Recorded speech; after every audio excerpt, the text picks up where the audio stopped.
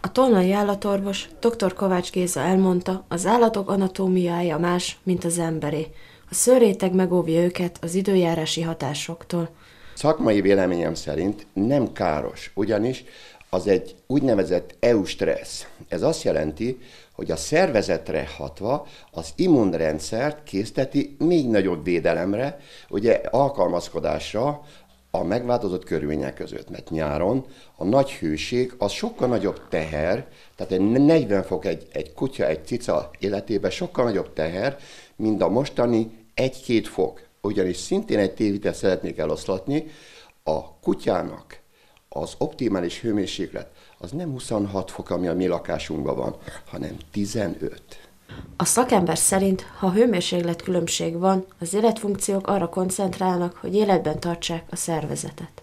Fontosnak tartja, hogy ne humanizáljuk a házi kedvencéket. Ruhát adunk rájuk, ami teljesen felesleges, mivel megátolja az élettani folyamatok működését, vagyis a hőháztartást. A homeosztázis, ami azt jelenti, hogy a külső ingerekre, tehát hideg, meleg, stressz, a, a, a, a szervezet a kellőképpen e, ad választ. Tehát a hidegre az állat remeg, az nem azt jelenti, hogy fázik, hanem azt jelenti, hogy a hő megtartása érdekében ő az izom összehúzódással hőt termel magának, és a 38 és fél fokot, ami az embernél ugye másfél fokkal magasabb testhőmérsékletet, ő ezzel a úgymond szokásával, a remegéssel ő szinten tudja tartani, tehát marad az egyensúly. Ha ez felborul, betegség következik be. A kutya, a macska az nem tud felfázni, mert, mert, mert egyszerűen az élettani ö, működéséből ez lehetetlen. Az ember fel tud fázni.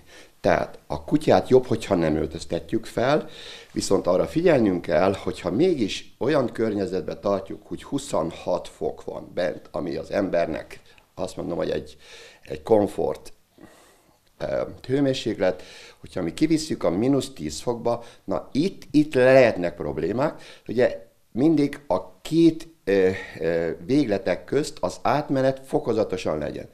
Az állatorvos hozzátette, a kutyák számára a legjobb alom, ha szalmát vagy forgácsot helyezünk a házukba.